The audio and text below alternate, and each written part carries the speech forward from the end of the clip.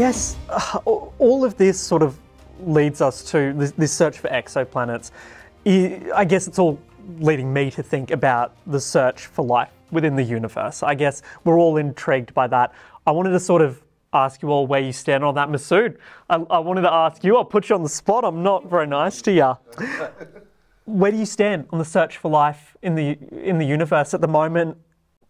We haven't found anything, we're looking hard. Where do you think we're going in the future? Um, so I think it's not so much about the destination, but the journey. Mm-hmm. So the more we explore space, the more we find out about ourselves.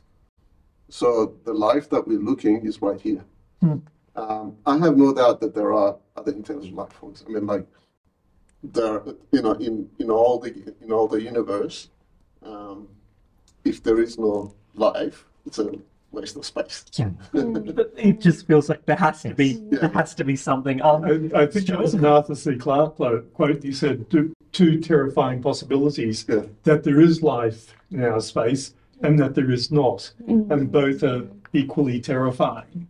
Um, I, I, was discussing something called Fermi's paradox earlier on, which is a little bit technical. It's just kind of the universe is very old. There are very many stars. Um, and why don't, you know, surely we should see something. But my first thought when I came across this was, what would you expect to see? Uh, so if someone were looking at us, what would they expect to see with any of our equipment mm. that would indicate intelligent life? And it's a really interesting one. It's one of these philosophical things you can use to argue anything. And while we've got a sample of one all answers are equally likely. The thing is, though, I think the simplest answer to Fermi's paradox, which is a question of where are they and why aren't they talking to us? Well, you know, they're receiving home and away. There's probably a very good reason they're not talking to us. But we've been broadcasting to space powerfully enough for instruments to detect for maybe 80, 90 years. We're already stopping doing that because it's much more energy efficient to broadcast point to point, where a lot of people will be listening to this through cables on the internet or through satellite thing, beaming point to point. We're no longer broadcasting unidirectionally, so we're going silent already. And so it's what that will mean is in the history of a planet that's had life for at least three and a half thousand million years, we've been broadcasting to the universe for less than a century. It's a tiny window, and there'll be a little bubble of sound going out into the void, and then nothing. And why would they talk to us? You know, and it's there's an entire universe out there. They're not going to be sat there watching us going, "Come on, they've developed soap operas. It's time to strike." um, one thing I think really interesting. I think the odds of us finding intelligent, communicative alien life is very small. But I'd almost get really science fiction here and say I think we're more likely to find silicon-based life than carbon-based life in terms of intelligent, communicative life. And the reason for that is if you look at how we're exploring space what we're doing is we're sending robot envoys out to the universe to places we can't yet send people. We go to the moons of Jupiter, we go to Uranus, hopefully in the 2040s now. And the further we go from home, the more autonomous those spacecraft are going to have to be. And you get to the point where if things like Project Starshot come off, this idea that you can send spacecraft to other stars, to get any meaningful data, they are going to have to be built in such a way as to have a rudimentary intelligence because they'll have to make the decisions on what to image. Because if you send a message back from Proxima Centauri saying, I'm here for three days, tell me what to look at, that will take four and a quarter years to get to Earth, four and a quarter years to get back. By that time, you've already missed your opportunity. So the logic then follows uh, as we explore space, we will send spacecraft out in front of us that are essentially sentient.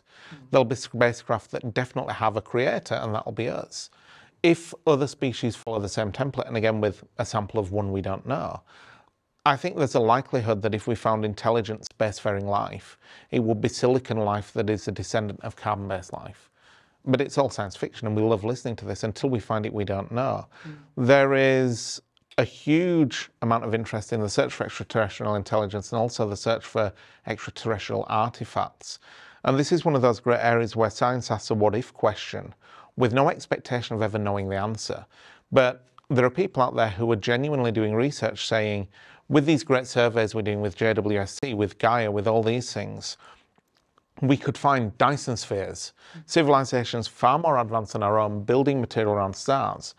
The odds are that we never will. But if you don't know what to look for, you can guarantee you'll never find the answer. I'm going to bring up um, Tabitha star. That that was Yeah. one which had probably a false positive, but it would definitely be in the region of something what we we would look for for And- Dyson and the whole point of this work, and there's people doing it, is thought experiments. These are places we could see our own technology going far down the line. If other species do this, what would it look like? And the reason you do that is because we build these immense catalogues of bonkers amounts of data, petabytes of data, which contain oddities, contain really weird things. Mm. And if you don't know what you're looking for, you'll never find it. The odds of finding it are very small, but if you explore it, you can rule it out, and that's really powerful. Mm. Um, there's also been a fair bit of talk that even humans didn't originate from Earth, that we are ourselves from different planets, and that we've, we've sort of come here.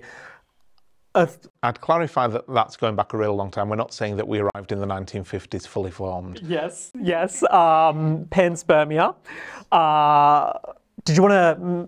Did you want to touch on panspermia and how I'm not really an, an expert in panspermia, Okay. but I'm happy to hand it off to John to I'm always diving on anything. I'm quite happy Yep. to bluster my way through. But panspermia is this fabulous idea that for a long time was viewed as being like the domain of crackpots, cranks. The idea that bacteria could be transferred between planets. It's essentially like don't go near the Earth, it's got humans, are contagious. But at the bacterial level, the idea is that you have bacterial life is really robust. It can survive in a very wide range of environments. Could it survive transfer from one planet to another? And therefore, you get the reign of life, and planets inoculate one another with life. Once it starts somewhere, it spreads. And everybody thought that sounds utterly stupid. Yeah. But then you do experiments. Say, well, let's go put bacteria on the outside of the International Space Station and leave them in the vacuum of space for 18 months. And then to bring them inside and see if they grow. And guess what? They do. Brilliant. You've said, well, how do you get them off the planet? You've got an atmosphere. You that just doesn't work. And then people do experiments looking into impacts, and they show that big impacts, like the thing that helped kill the dinosaurs, create craters, and the rocks nearest the middle are shocked and destroyed, and the rocks near the edge are barely touched. But somewhere in the middle, you've got this sweet spot where you can eject rocks through the hole that the space rock has punched in the atmosphere intact without sterilizing them. So you can get bacteria into space. You've shown they can survive in space, and a fraction of those rocks land on other planets. Well, we know that 'cause we have at least 10 meteorites found on Earth that are Mars rocks, Martian meteorites. We found a terrestrial meteorite on Mars, potentially, possibly, probably not, but possibly. You know, we found bits of Mercury, bits of the Moon on Earth. All of this goes together to say life could be transferred. Go back to the early solar system when you had three Earth-like planets maybe life got started on one of them, and at one point you had life on all three, and it was transferred back and forth as the planets were periodically sterilized, but it stayed going on the other one sent back. Which means if we ever do find life on Mars, there's a really fascinating thing we learn from that. If we find life on Mars and it has a shared origin with life on Earth, that shows panspermia works. What that means is once you've got life in one place, a bit like COVID, it spreads everywhere. The alternative is if you find life on Mars and it doesn't have a shared origin with Earth, that means you had two planets next to each other in the cosmos, and life got going on both, and therefore life must be common.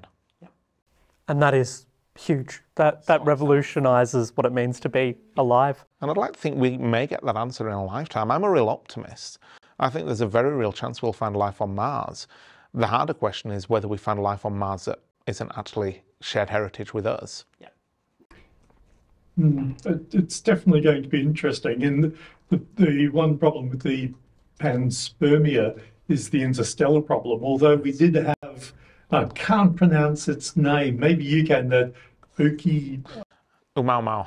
Oh, got so we've had two interstellar objects so far confirmed passing through the solar system with the advent of the Vera Rubin Observatory. Yes. We're going to find many, many more. 'Oumuamua, despite the best efforts of a crazy Harvard self-publicist called Avi Loeb, um, who is a huge problem for our science because he's selling books on the back of everything being aliens.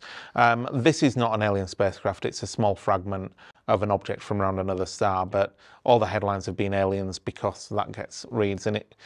Yes, I get grumpy about this. We also then had Comet Borisov, which was the second interstellar object. And it makes sense. Our solar system is shedding comets like dandruff to space.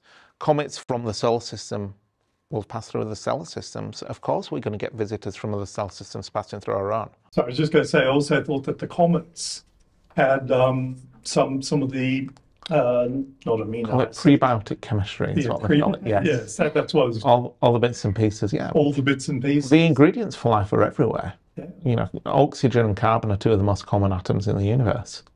I think you said it perfectly. Hopefully, within our lifetime, we might, we might, if we're lucky, be able to see where we came from